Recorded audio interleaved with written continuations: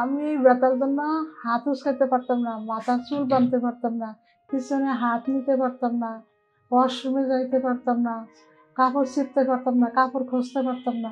আসসালামু আলাইকুম। আমার নাম শামসুন নাহার, বয়স পঞ্চান্ন, উত্তর বাড্ডার থেকে আসছি। আমার হাতে আজকে আজ চার মাসের উপরে সমস্যা। আমি ব্যথার জন্য হাত উস্কাইতে পারতাম না মাথার চুল বাঁধতে পারতাম না, পিছনে হাত নিতে পারতাম না ওয়াশরুমে যাইতে পারতাম না, কাপড় ছিঁড়তে পারতাম না, কাপড় খুঁজতে পারতাম না। এই ব্যথার জন্য চারজন ডাক্তার দেখাইছি, তারা বলতেছে আমার হাতেরই সমস্যা। পরে এখানে আসার পরে আমার ওই কাগজপত্র দেখছে, দেখার পরে আমার এমআরআই করল। এমআরআই করার পরে রিপোর্ট বাই করল, বাই করার পরে আমার হাত ধরা পড়ল। ঘাড়ে এবং মাজায় হাতে তো আছি, হাতে তো আমি দীর্ঘদিন ধরে চার মাস ধরে তো ইয়াই পাইতেছি, কষ্টই পাইতেছি, কিন্তু ঘাড়ে মাজায় সমস্যা হয়েছে মানে আল্লাহ দিলে আমি অনেকটাই সফল হয়েছি তারপরে আমি এখানে আসে, আমরা নেটে পাইছি নেটে পাইছি এখানে শফিল স্যারের লগে পরামর্শ নিয়েছি তারপরে এখানে ভর্তি হয়ে গেছি।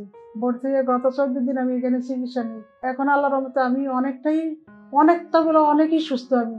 এখন আমি উপরে হাত উঠাতে পারি গাড় ঘুরাইতে পারি, পিছনে হাত নিতে পারি, মাথায় খোপা বাঁধতে পারি।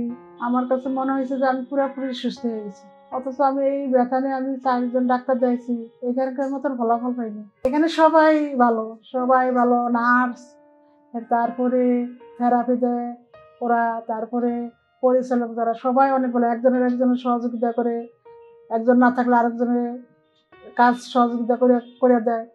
কোনো ডাকা লাগে না যে অমুক আই, নাই, ওরা ডাকিয়া ওর কাজ করিয়ে যে এরকম ডাকা লাগে না, এই করিয়া দেয় দেখলি সমস্যা হইলে করিয়া দেয় এইখানে আসে আমি একাই ভর্তি গেছি আমার মেয়ে ভর্তি করে দিয়ে গেছে, একাই আমি আসছিলাম।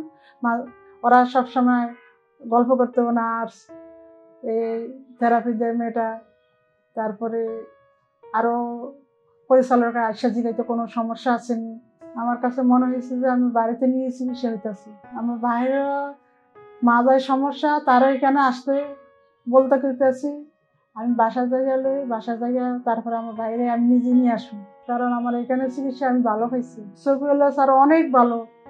বেডে যাইয়া জিজ্ঞাসা করতো যে, তোমার কেমন আপনার কেমন লাগতেছে? কি খোঁজ খবর সব খোঁজ খবর নিতে বলিয়া বেডে যাইয়া ওয়ার্ডে যায় খোঁজ খবর নিতে বলিয়া তারপরে নার্সের বেতন নিতে বলিয়া তারপরে যে থেরাপি দিতে ওই মেয়ের থেকে নিতে বলিয়া হ্যাঁ, দুই একদিন পরে পরে ওয়ার্ডে যাইতে বলিয়া ওরা অবর্তনের খোঁজ নিতে বলিয়া। তার তো অনেকই দোয়া করব আমরা। তারা দোয়া করতেছি তার যে ইয়া থাকে ভালো থাকে আমরা যে ইয়া করতে পারে। অনেক রুগী সুস্থ হয়েছে কিন্তু তারপরে একটা আমার আমার একদিন পরে আসছে আমার আগেই চলে গেছে। একদিন পরে আসছে আগেই চলে গেছে, আবার অনেক রুগী দেখি অনেকই সুস্থ হয়ে গেছে।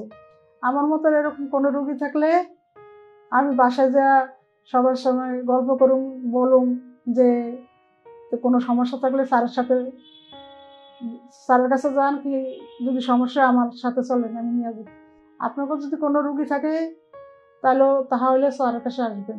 ইনশাল্লাহ আপনারা আমার মতন সুস্থ হয়ে ফিরে যাবেন। আমার জন্য সবাই দোয়া করুন, আমি যেন সুস্থ হয়ে ভালো থাকতে পারি। আপনারাও ভালো থাকবেন। ডিপিআরস লিমিটেড, আস্থা, বিশ্বাস ও নির্ভরতায় অবিচল।